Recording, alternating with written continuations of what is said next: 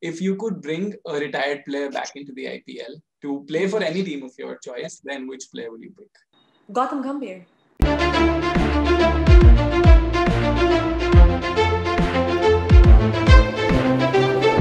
One of whom we've seen on our screens after and before every match. We have with us Nashpreet. Hello, Nashpreet. How are you doing? Hi, I'm good. How are you, Ujwal? I'm good. Thank you for having me on your show. It's an absolute pleasure to have you. And there is so many, so many of your fans who are already waiting for this episode to come out. They're already waiting, eagerly waiting for the things that you have to say. So there's a lot of buzz, buzz around this. Yeah, okay, let's, but be nice to me, huh? so uh, the, the way we plan to do this is in three segments. So initially, I'll take up your opinions on uh, mm-hmm. sports journalism and broadcasting in general, some something about your experiences in this IPL. In the second segment, we'll take up questions that people have sent in for you, and then finally we'll do a quick rapid fire where I'll try to put you in a bit uh, one or two tough spots. All right, let's do this. Right. So I'll move to my first segment directly, and the first question that I have for you is about you. So, um, if if I'm not wrong, you were in the in the industry of modeling and you were in the industry something different to uh, sports anchoring. So when is it that you decided to make this turn into sports anchoring and what was your motivation behind it? So um, you know i never really thought that i would be doing this. I sort mm-hmm. of just went with the flow of life said yes to all the opportunities that sort of came my way and it eventually led to this you know. For the longest time actually my friends kept saying you know you well. You've got a great voice. You should really anchor. And I did a few gigs here and there just to see if I liked it. And I did. It was quite nice. But then ultimately, I was like, yeah, I want to be like, you know, a travel host, you know, travel to beautiful places and, you know, do all of that. And then I sort of fell into sports anchoring, uh, which was a whole new area. Like I had never even thought of it. And then I was like, okay, let's let's give it a go and see how I feel about it. And I did, and I loved it. So I, I just really, there was no, there was no plan. I just went with the flow of things and tried it, loved it, and I'm doing it. And that could be one major takeaway. You just have to keep going with the flow for everybody who's watching it. And yeah, yeah. And I tell this, and you know, a lot of people are like, Nash, how, how can you just go with the flow? You know, plan things about your life, you know, plan, plan, plan. Yeah. And I was like, trust me, it never works five years ago, 10 years ago, if you'd asked me what you want to be or where you see yourself in five, 10 years, I would have never said that I see myself doing like sports anchoring for such a prestigious channel in India, living in India, you know. So I wouldn't have been able to say that or plan that at all. You can't plan these things. Exactly. You just go with the flow. And, and right now, if I ask you where do you see yourself in five years, does, does that remain? Yes. um, con- well, now uh, I think, yeah, I'm quite certain. Some, so definitely in this field, I do see myself progressing more and more in this field of mm-hmm. sports anchoring for sure. Right. So when if I move directly to this IPL, it was a bit different compared to how other editions or how the sport has been for so long with the crowd. And um, to be in a season where uh, you're doing this for the first time, A, and B, you know there is an additional pressure of delivering a stadium-like experience on their screens there are millions of people watching uh, do you think there was any positive to how uh, things changed without a crowd how broadcasting changed and how you were reaching a bigger audience um, you know, I think the fact that amidst COVID, amidst what's happening right now in the world, the fact that we were still able to hold this huge tournament and then bring it to people's home, that itself is a positive in itself, you mm-hmm. know. Um, I remember when the when the talks were still happening as to how we're going to do the IPL, what's going to happen. Um, I'm going to be honest. I wasn't sure that it would happen. Yeah. I, I just thought that no, this this year is came up with so many surprises. I was like, no, I don't think so. It's going to be able to sort of pull it through. And the whole bio bubble idea, no, I wasn't confident in any of that. You know, so many people, hundreds of people in the bio bubble. I mean, yeah something would go wrong for sure you know? So there were lots of up and down in my head initially and then uh, and then we pulled it off and we did it. And we and it was the most watched IPL yeah. in the history of IPL you know? So so I think that's a huge positive huge. Right and we were all surprised by the end of it. We were all surprised by the end of it that it was such a big success and that the bio bubble everyone but you know it's so great that everyone at star we sort of came together. We were away from our family and friends for two months some even more than two months. And you know and we worked hard and we did this for you know cricket fans and ipl fans out there. Yeah. And so, if i ask you about this bio bubble so uh, where, where something that comes into my mind what was more difficult getting into this bio bubble having all of those lifestyle changes staying there or then finally getting out of it and going back to all of these precautions and being sure that you're taking care of yourself so this bio bubble um what like what a concept right it's, yeah it's, I, I can't believe i did that i can't believe i just was in this bubble for two months sometimes, you know. But I'm new to anchoring, by the way. It was mm-hmm. my first time doing a big gig like this. Uh, I'm new to Star. I was new to Star at that point, and uh, I didn't. I didn't know anybody. I had no friends there, so I was going in thinking, "Oh my God! Like this is going to be, this is going to be a difficult one. You know, how how is it going to go?" There were a lot of confusions and a lot of hesitations in my head but then when I went in, everyone was so lovely. Everyone was so welcoming. Everyone was in the same spot into being away from friends and family. So we sort of provided that support and, you know, we were there for each other really in the two and a half months of the IPL. And um, it wasn't as hard as I thought it would be. It was actually quite easy being in that bubble. But coming out, now that was a completely different story because now going into the bubble, you're you know you've got people there. You're in a comfortable hotel. Yeah. You're gonna try and go to your studio. It's it's it's comfortable. Now coming out, it was hot. I was like, oh my god, did I not feel the weather all this time that I was in the bubble? Like, and I was feeling extremely hot, and I couldn't cross the road. It was just too much noise and chaos happening everywhere. Like first day, I was like, oh god, I, I could not cross the road. I was getting a rickshaw, getting in it, to take me to the other side of the road. Yeah. You know, because I was just not sure that I'd be able to gauge the distance and all of that. So yeah, first day was a little bit difficult coming out of it. But then, you know, you get used to We're humans. Our best quality about us that we really adapt and get used to things. So, yeah, so I was excited to go inside the bubble and I was also excited to come out once it was done. So it was it was nice. And talking about adaptiveness, I'll take you to something about this IPL uh, Rahul Dravid mentioned that uh, we can adapt to another new team. There should be an additional team because of the uh, the pool of talent that we have in India.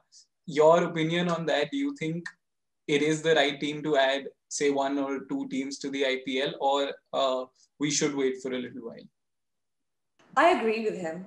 Mm-hmm. There, uh, there's so much, so much talent out there, and I feel like not everyone is getting that opportunity to sort of play. And it would be great. Why not? It would yeah. be great to have another team or two, you know? It's the more the merrier. I think I I'm up for that for sure. And Rahul Dravid, yeah, I, he should lead a team. He should mentor. He should like, he should be part of the, the team as well. That would be nice.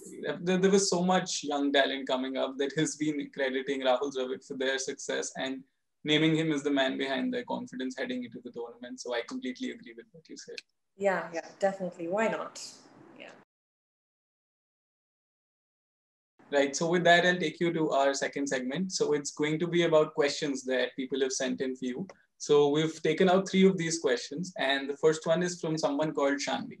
So she's asking you that um, heading into a match day, there must be a lot of research and a lot of, say, nerves when you head into a live show with millions of people watching you on applications on TV. So how do you prepare for a match day? If you could describe your day from the start to the point that you go live you know, the first time that I went live, uh, or when I like basically you get told, okay, so this is what you're doing tomorrow. You're going live. Mm-hmm. The first time that I was going to go live, I did not sleep at night, and when I did sleep, I think I dozed off for an hour or two, and I, all I was dreaming was about like the teams, the the players, and like like weird dreams I was getting. Yeah. You know, and I would wake up in the morning, and I would like obviously you go through the newspaper you go through i i tend to go through like Cricinfo Cricbuzz mm-hmm. see what's buzzing you know and then obviously we usually receive a stat pack yeah so like we get it on email where lots of stats about the teams, the players, how they've performed in the past, history, you know, the key battles, which players are important and things like that, who we want to talk about. So we do receive like, but it's big. So you have to like go through and read through it. But I remember the first, oh my God, the first time I did live, I was just stressed from like night till the time I like was, even like I was standing there, I was just stressed, but then you just put a smile on and you just have to like not show it through to the audience, you know, but we are freaking really stressed. Not even stressed like nervous and stressed like everything you know and but then also you get this rush of energy and adrenaline which also makes you feel good. So you're like wait a minute i'm feeling this way but i'm feeling good about it you know? So it was a very weird feeling when i first went live. And then after that you sort of get used to it. Mm-hmm. um, instead of stressing at night i would start stressing like in the morning and then after then the third, fourth show, then instead of stressing in the morning, I would stress about two, three hours before the show, mm-hmm. you know. So then it got better and better and better. And we have, and you know, one thing about Star is that we have a great team around us. We have a great support system. So any help, any questions, we can just, there's a lot for us there to learn from. And you know, good thing was that living in this bubble, one positive, there you go, is that we were surrounded, we actually lived with all these experts that we were mm-hmm. in the studios with, like Brian yeah. Lara, Brett Graeme Swann, Irfan Pathan. Um, all these people were with us. Yeah. So yeah. they were like great to learn from. Any questions, we just go to them, you know. And and they was just so good in, you know, answering our questions and just helping us around. So that was one of the positives that I took out of this IPL. You know, if it was a normal IPL, you wouldn't have so much access to them. But in this IPL, we had like unlimited access to them, you know, so which was great. I'll move to the next question. We have one from Prakhar. So he's saying, and it's I think it's a tough one. He's saying through out of all of the pool of hosts that you worked with in this IPL, if you could pick only one, and that is the one you work with for the rest of your career in broadcasting, then who would you pick? An anchor.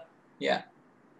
One anchor any any anyone you work with this IPL, you can name anybody. Um,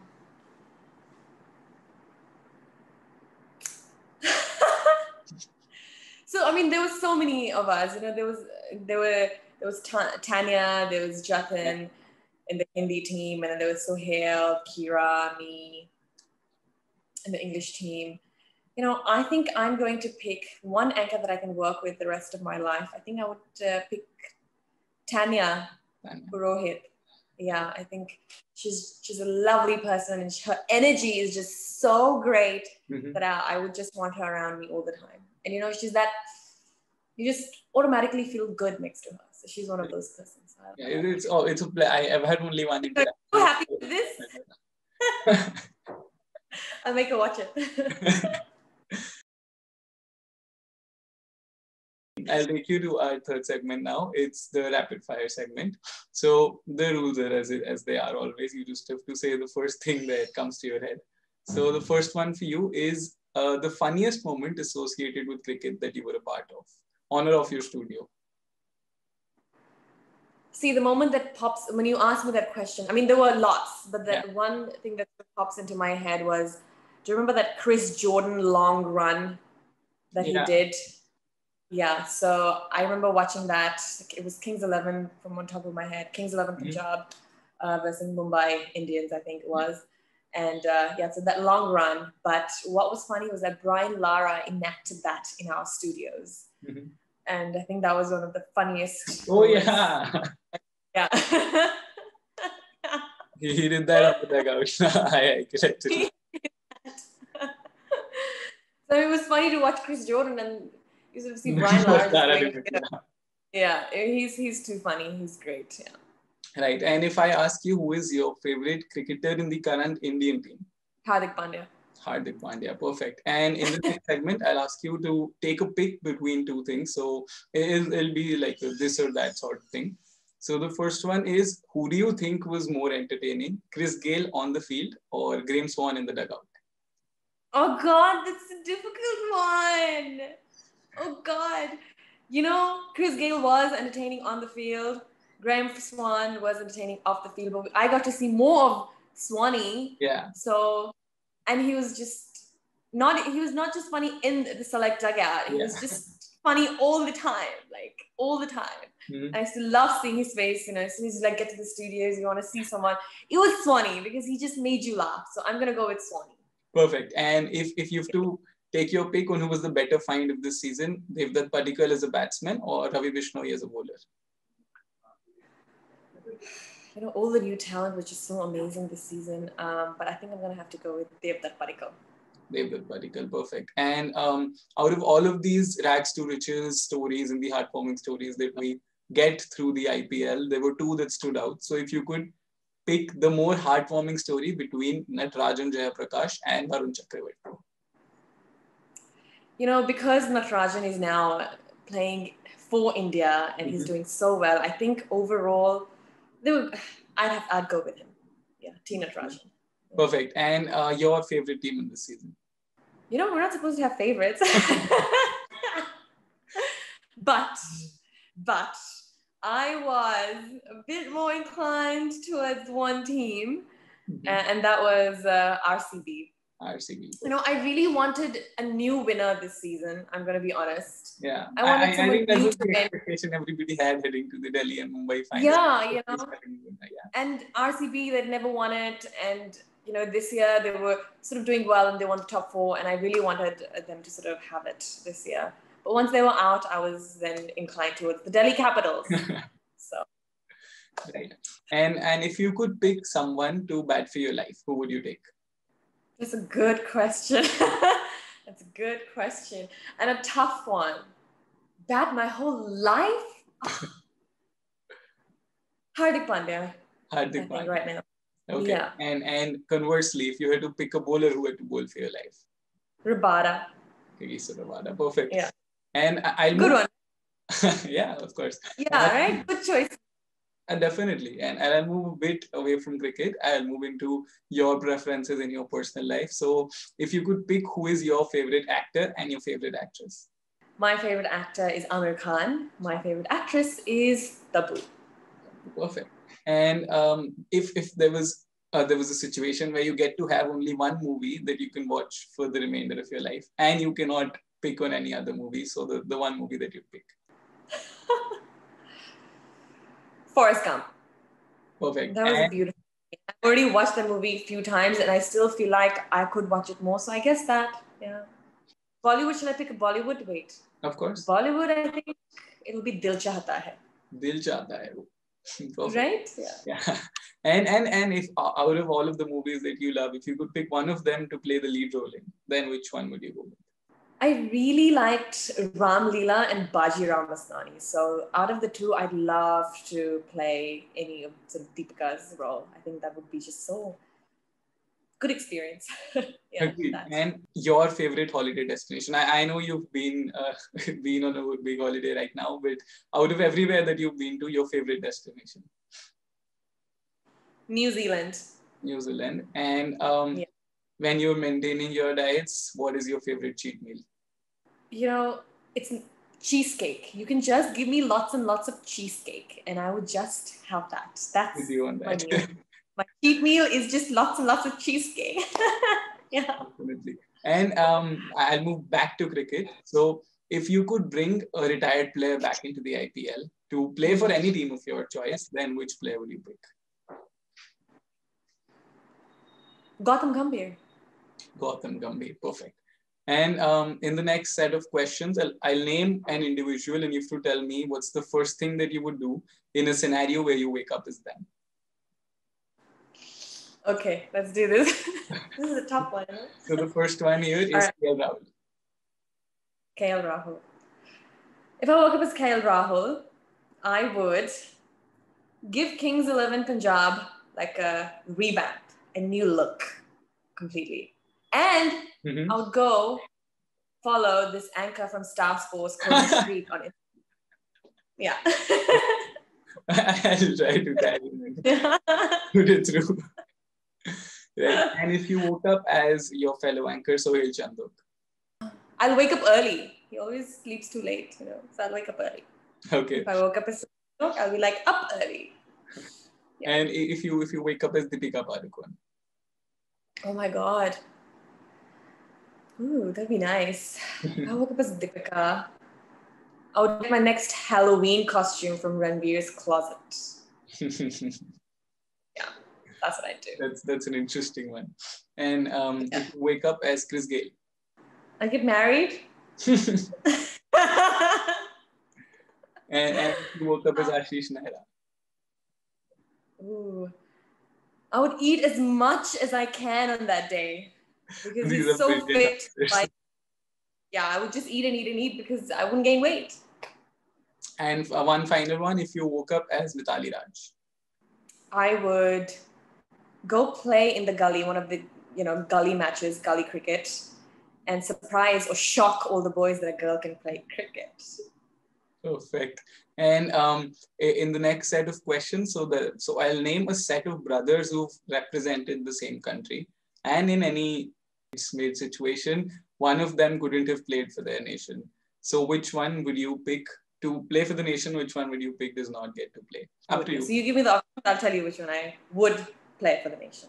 Perfect. So the first one is the brothers from Pakistan, Umar Akmal and Kamran Akmal. Umar. Okay. Um, from India, Irfan Pathan and Yusuf Pathan. Irfan. Irfan. Uh, moving to Australia, Shaun Marsh and Mitchell Marsh. Mitchell. Mitchell Marsh. Mitchell Marsh. Um, I, I, think I know the answer to the next one. It's Hardik Pandya, Krunal Pandya. Hardik. Perfect. And um, from South Africa, Morne Morkel or Albie Morkel? Morne. Morne Morkel. And, and I think this is the toughest one of the lot. Uh, Mark Waugh or Steve Waugh? Steve.